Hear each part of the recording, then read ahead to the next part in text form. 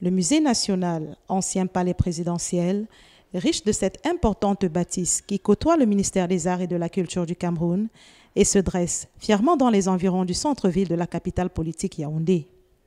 Un lieu mythique et un héritage, laboratoire de la construction de l'identité camerounaise, dira-t-on, symbole aujourd'hui, dans le principe en tout cas, des plus grandes richesses culturelles du pays. L'espace veut aujourd'hui se donner un souffle nouveau en surfant entre autres sur la vague de la digitalisation.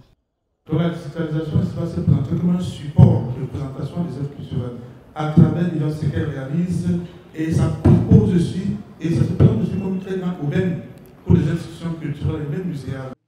Une orientation nouvelle déclinée en conférences mensuelles, rencontres, séances de travail et activités diverses avec les experts et artistes toutes disciplines confondues. Le musée national a changé de vision. Hein. Ils doivent passer du simple musée conservateur à un musée dialogique.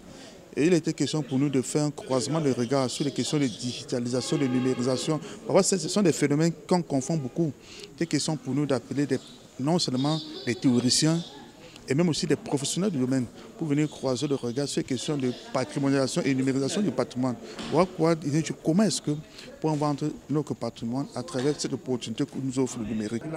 Passer du musée conservateur à un musée dialogique, le challenge est clairement identifié.